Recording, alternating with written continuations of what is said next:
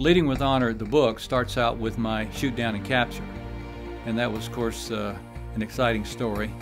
But the next five and a half years of being a prisoner of war were both boring and exciting.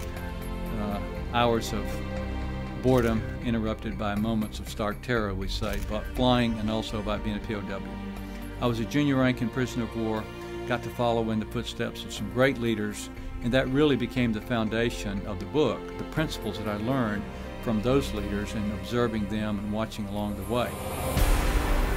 Well, people comment about the cover on the book, and it is quite unique. And when I first saw it, I was just hit uh, emotionally very hard because it reminded me of the hardship that we'd endured as prisoners of war.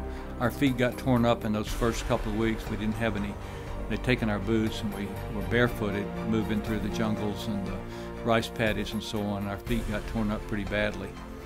And it re represents the hardship, the sacrifice that we went through during all those five and a half years. And then it also represents coming home and having a real life, uh, carrying on with life, and uh, being able to, to live a good life. Some people ask, well, how did you come up with these 14 principles? Well, they really originated in my observations and experiences in the POW camp. I didn't have them categorized back then. They were just part of life living there and the experience. Then in my experience as a leader in the Air Force, I used them. And then as a leadership coach and consultant, I found that these things really are what's needed. I hope that people will read this book because it connects powerful stories that they will remember with practical leadership principles that have direct application to them in their lives. As I've been out speaking, I usually focus on two or three of the principles in the book, and the response has really been encouraging because uh, people want to know the stories, but they also want to learn something, and these principles have been very helpful.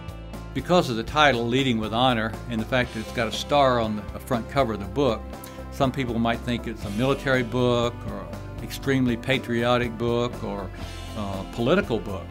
And it's really not any of those. It's really a story of our experiences. It's about leadership, it's about corporate America, it's about life as we know it, uh, dealing with real people and real situations. Uh, I don't have any political agenda in this book. I do have an agenda. It's to impact people with the idea of leading with honor and doing the right thing and having the courage. I talk a lot about leaning into the pain to do the right thing because it is hard to do the right thing. A big part of this book is being real about who you are and understanding who you are and being able to deal with that. And you're not perfect, but you're trying to be better and you're trying to be perfect. You're trying to grow. I define courage as doing what's right and what you know you ought to do, even when it doesn't feel natural and doesn't feel safe. Overcoming fears to do what we know is right is about leading with honor. So that's a big theme of the book. Overcoming fears to do what you know is right, to do what your duty is, that's leading with honor.